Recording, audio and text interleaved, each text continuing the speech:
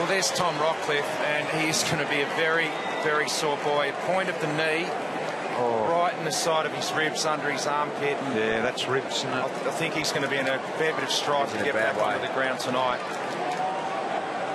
Gutsy effort to get up and walk off. He's in severe pain.